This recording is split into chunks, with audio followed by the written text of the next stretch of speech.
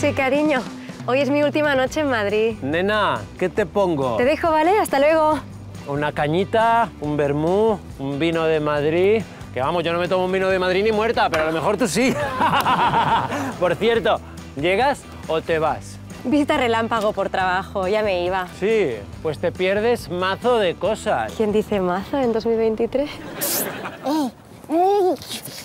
Dile cosas típicas que hacer en Madrid, así se quedarán más días. Pero ¿cómo vas a irte de Madrid, muchacha? Sin haber visto nuestras plazas, sin un solo árbol. O los atascos kilométricos en la M30. No, planes, cosas que hacer en Madrid. ¿Quieres planes? ¿Qué te parece sacarte unos másteres en un fin de semana en la Rey Juan Carlos?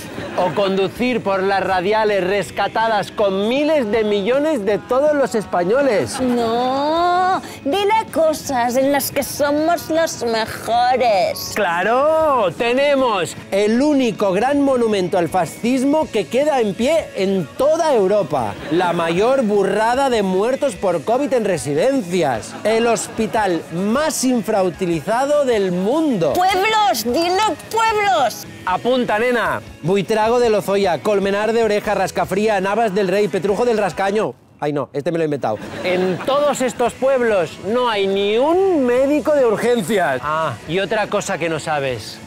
Tenemos el cielo más bonito de todo el mundo. Bueno, cuando no hay la boina esta de mierda. Ya, basta. ¡Ay, chocho!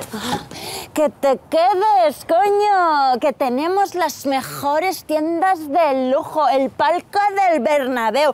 Cervezas, juernes, afterworks, dumping fiscal. Así que, ¿te quedas en Madrid? Yo... Es que he estado mirando estudios en alquiler y por menos de 600 euros no encuentro nada que no tenga la nevera encima del váter. Ah, que eres pobre. Ah.